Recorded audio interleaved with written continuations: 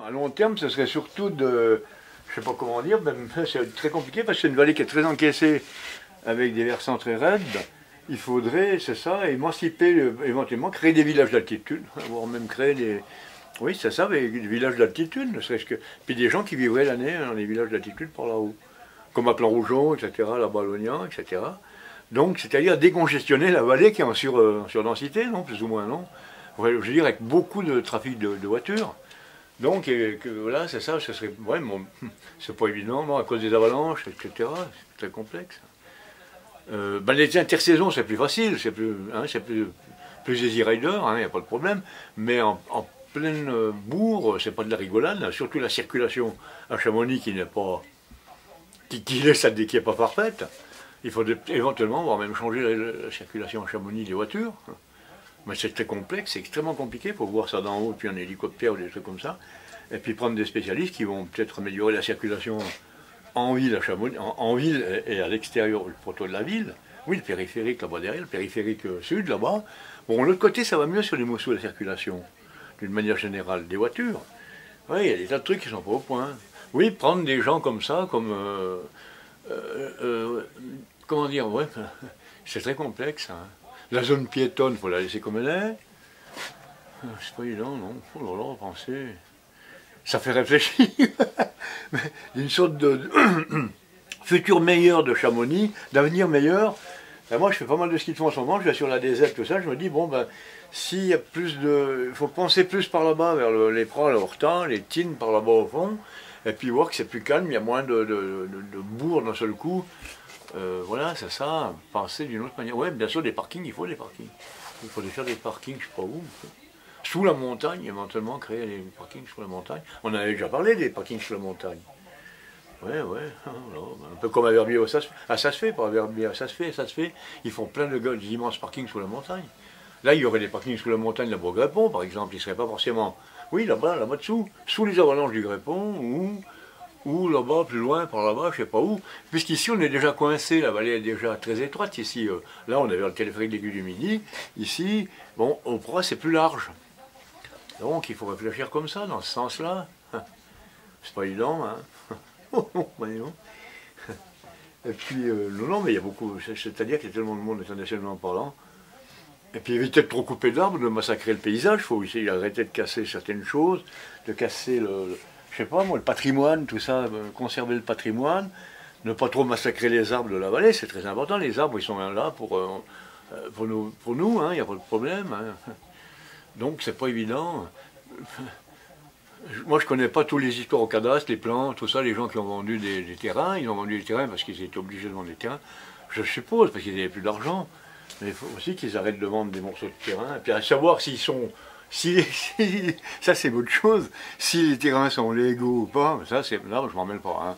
Comment ils ont eu les terrains pour faire d'autres euh, constructions euh, horribles, enfin horribles, j'ai pas dit horribles, mais qui, jurent avec le cadre de la vallée. Voilà, il y a des projets. Là, c'est pas la politique ou quoi que ce soit, mais euh, je pense que l'architecture, elle laisse à désirer, premièrement. La circulation en ville et l'architecture. L'architecture, c'est pas, c'est même pas, pas fantastique. J'entends les réflexions des gens, euh, ils ne sont pas toujours contents. Hein. Bon, les montées mécaniques, ça s'est drôlement bien amélioré. Hein. Il y a moins de, de, tout ça. C'est à, à tourisme ou, dans les dans les, dans les dans les bennes, on entend les gens, ils disent oh là là, on attend trop. Et ils attendent, mais encore on en est là. C'est qu'il y a des gens qui, qui, qui, viennent de la Plagne ou de Tignes ou de Val Thorens, ben, ils skient beaucoup plus. Ça, c'est encore autre chose. Alors qu'ici, là, ils, comment dire, ils, skient euh, moins il, skie, mais il, skie à la main. bon, je sais pas, sais pas comment dire. Après, il, bon, il se régale quand même parce qu'il y, a des belles pistes. c'est pas évident, hein. Oh, c'est très complexe, c'est un gros morceau, Chamonix. Voilà, c'est ça. Le futur, c'est. Ben, faut y laisser comme ça, puis pas trop se compliquer la vie, essayer d'améliorer, puis euh, se, concentrer un peu comme le Haut-de-Val d'Isère, vous voyez, les trucs comme ça, l'architecture et tout ça, ce qu'ils ont fait sur le Haut-de-Val d'Isère, ce qui est très, très, très intéressant. Il faut aller à Val d'Isère et voir comment ils ont amélioré le Haut-de-Val d'Isère, et ça, c'est drôlement intéressant. Ils ont tout repris, c'est quelque chose qui, est, qui est beau, quoi. C'est beau. Quand vous êtes sur le Haut-de-Val d'Isère, vous dites, bon, ben, Voilà, ils ont bien. Bon, ça représente beaucoup d'argent, mais le cadre de vie, les décorations, ils ont tout habillé les immeubles en bois, le béton en bois, bon. Ça jure moins, quoi, c'est pas aussi, déformé qu'à Chamonix, quoi, voilà. Aussi disparate. Oui, oui, sur le haut de Val d'Isère, les bus, ça, marche aussi, tout ça. Bon, le Chamonix bus de Val d'Isère, c'est euh, c'est plus de, train, là, de, double bus, c'est le, Limoges, quoi. C'est la ville de Limoges qui, fournit les, les, bus à Val d'Isère. Les vieux bus de Limoges atterrissent à Val d'Isère, elles sont repris pour la montagne, mais c'est des bus articulés. Ce qu'on pourrait peut-être avoir à Chamonix, éventuellement, ça améliorerait peut-être les choses à Chamonix, pourquoi pas des bus articulés? Alors là, c'est une forme de futur. Pourquoi pas, je ne sais pas, moi euh, il n'y a pas tellement la queue au bus, hein, ils n'attendent pas les gens. C'est pas, Chamonix, il y a une bonne distribution, il y a très peu, une super organisation. Mais je sais pas, c'est une, question délicate. Il y a de trucs. Euh, le mulet, ok, pour les gens du pays, là de la vallée, bon, le mulet, oui. Le mulet, c'est pas mal, ça dépend des gens de la vallée. Bon, le, parcours du mulet, par contre, je sais pas quoi dire, peut-être qu'il pourrait être aussi également agrandi, le mulet. Oui, bon, ça, ça fait beaucoup de circulation. C'est surtout le problème de, parking et de. Comment dire En période de pointe, moi je parle en période de pointe, hein, et d'arriver aux remontées mécaniques et de débit, tout ça, qui pourrait à un moment donné être amélioré. Bon, sans passer par, euh, par des trucs. Le taux de pollution, il y a toujours avec le tunnel et tout. On peut pas le tunnel, il y a plein de projets. Hein. Ça, moi, c'est pas. Je sais pas quoi en penser, moi, du tunnel. Le tunnel, on ne peut pas changer grand-chose, c'est pas nous qui décidons, c'est au gouvernement en haut, hein, à Paris. Hein. Le ferroutage, oui, ben c'est une bonne idée, c'est une très bonne idée le ferroutage. Ou alors faire un deuxième tunnel, un deuxième tunnel du Mont Blanc, mais il faut faire un deuxième tunnel du Mont Blanc. Et puis passer, je sais pas, j'en sais rien, passer les camions, j'en sais rien, ou les passer sur les trains. Voilà, c'est ça, il y a l'idée de passer les camions du, oui, c'est ça, qui serait de, passer les camions sur les trains. Donc les camions, ils ne polluent plus puisqu'ils ont arrêté leur moteur. Donc ils ne polluent plus, ils passent dans le deuxième tunnel. Voilà. Oui, oui, doubler le tunnel du Mont Blanc euh, en passant des trains. Mais il n'y a pas de train. Ils sont où Mais non, il n'y a pas de train. Ah non, non, ça fait complexe. Oh, oh, c'est un casse-tête. Oh là là. Comme à Bodin, à Bodin, ils passent les, hein, les camions sur les trains. Mais le tunnel, il fait combien il fait de kilomètres en Bodin 50 50 kilomètres? Je crois. Hein. Non, je ne sais pas combien il fait en Bodin, le, tunnel. 24, non, plus que, je crois, 26 kilomètres. Alors ils arrêtent les camions et les voitures, il n'est pas sur des trains. Mais c'est pas bête l'histoire du ferroutage. Propre tunnel. Si le tunnel pollue autant que ça, mais est-ce que c'est le tunnel qui pollue ou l'autoroute là, avec les, 40 000, euh, euh, comment j'ai compté, là, en une, en une, journée, entre Noël et Nouvel An, ça passe plus de 50 000, 40, entre 40 000 et 50 000 véhicules là-bas au point I. C'est ça, c'est du 40, hein. pas en ce moment, mais en plein pot. Puis euh, au mois d'août, des fois à Pâques, bon, plutôt en février, les grosses semaines. Et entre Noël et Nouvel An, c'est du 40 000, 40 000 voitures, 40 000, 5 000 voitures, camions, voitures, machin, bon, tout le fourbi, tout ça. Hein. Donc a quand même un, taux de pollution euh, important. je ne sais pas, hein, c'est président.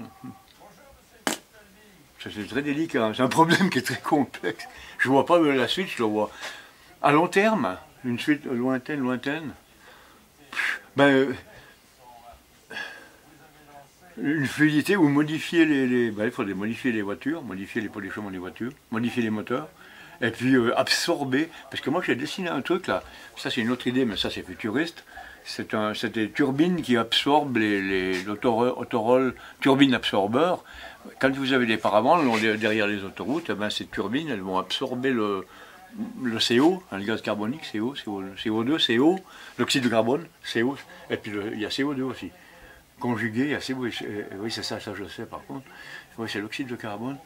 Euh, là on absorberait, tout ça, tous ces gaz peuvent être absorbés par, des, turbines aspirantes le long de l'autoroute, le long des parapets, comment ça s'appelle, des, protection pour les villages le long des autoroutes, là, comme on a par en bas, alors quand le camion il passe ou les voitures passent, tout ça c'est absorbé, et ça, ça peut tourner soit au gaz, soit à l'électricité, et ça va absorber au moins la moitié de la pollution des camions ou de la circulation.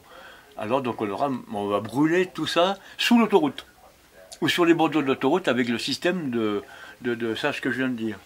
Autoroll, Autoroll Turbine Absorbers. C'est des machines à absorber la pollution le long des autoroutes. Alors ça, c'est possible. C'est possible avec les, les réacteurs nucléaires actuels, il n'y a pas de problème, hein, avec le, ou le gaz, ou le gaz, brûlent avec le, gaz actuel, ou, les réacteurs, voilà, c'est ça. Bon, avec l'alimentation électrique, les turbines, elles tournent et elles, tirent le gaz sous le, sous l'autoroute ou sur les bordures de l'autoroute. Et là, on, les, on les reconvertit, on les brûle. On brûle ça, c'est oxyde de carbone. Et ça devient, ben, je sais pas, ça part dans l'atmosphère, j'en sais rien. Mais là, on est en 2000 combien? Peut-être en 2040, en 2030, 2080, je ne sais pas.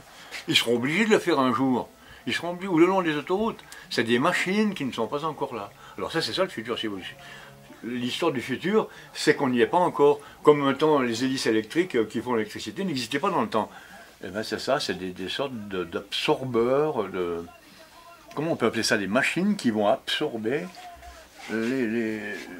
voilà ça, la pollution le long de l'autoroute. Donc il y aura déjà la moitié moins de pollution le long de l'autoroute en mettant les panneaux pour le bruit le long, euh, surtout les autoroutes ou les, routes à trois voies qui, qui, sont, comment dire, qui, qui, isolent les villages, les animaux, les bestiaux, tout ça, les cultures et l'élevage.